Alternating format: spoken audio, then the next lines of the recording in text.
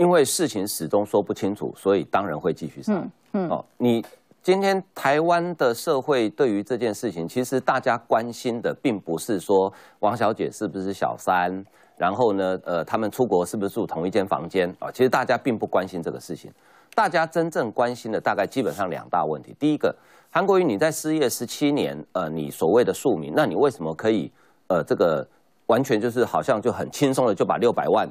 拿给王小姐去投资，啊，那是不是投资？我我是到目前为止我仍然存疑了，因为没有相关的证据，他至少说王小姐无法举证说你是真的投资在 LED 上面啊，这是第一个疑问，就这个金钱的关系。反正六百万给他就没错了，对，那是用来做什么？对，那这个钱到底是怎么回事？第二件，第二个大家关心的是说，一个总统候选人他的个人的诚信的问题。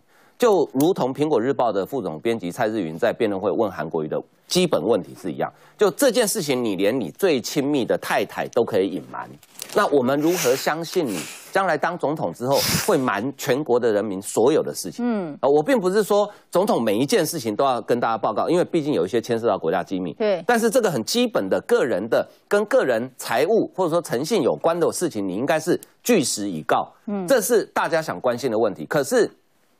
你今天呃想利用这一张照片来帮这件事情做一个定调，就说啊我们夫妻之间没有问题，我们感情很好。你太小看台湾的选民了，台湾选民不在乎你跟李嘉芬感情好不好，那是你们的私事。你们感情好，我当然祝福你啊。嗯，那感情不好又怎么样呢？也不是我们的事。对啊，那那是你们家的私事。也许他的小孩会关心，他的家人会关心，但是我们其实并不关心。所以。韩办从处理这件事情一开始就搞错方向，他一开始定调的方向说这叫八卦，所以我们不理他。当媒体不断的在追之后，他说这个是少数特定的媒体别有用心，所以他一开始的定调就错的情况之下，后面的事情当然处理不好。今天不管李嘉芬在选前一夜跟韩国瑜同台，甚至韩冰同台，或者你们全家同台都一样，嗯，不会加分的啦。所以最后一刻，然后呃，他们全家一起啊，然后呃，一起牵着手，然后跟大家敬礼啊，说麻烦给我们一票，你觉得也没有什么效果？没有，这个寒冰出来也没有用，没有用，因为他处理的还是你的家事嘛。嗯，你你找李嘉芬出来，好，就算你们两个在这台上非常亲密的拥吻，好，那寒冰出来抱着爸爸哭。你处理了还是叫做家事？嗯，那我们关心的不是你的家事，我们关心的其实是我刚刚讲的那那两大部分，那是关于到将来有可能当总统的人他的人格特质的问题、诚信的问题。对，所以我觉得韩国瑜一开始都搞错方向，所以你现在怎么处理也处理不好。哦，另外千平，我想补充一下，因为呃，其实可能大家不知道，总统今天去东奥雷德雷雷达站呢，是他昨天在。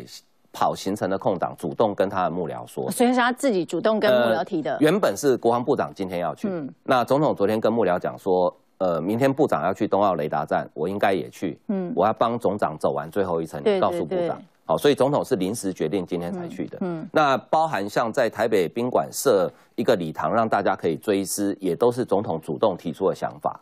哦，所以为什么我要补充这一段故事，就是说。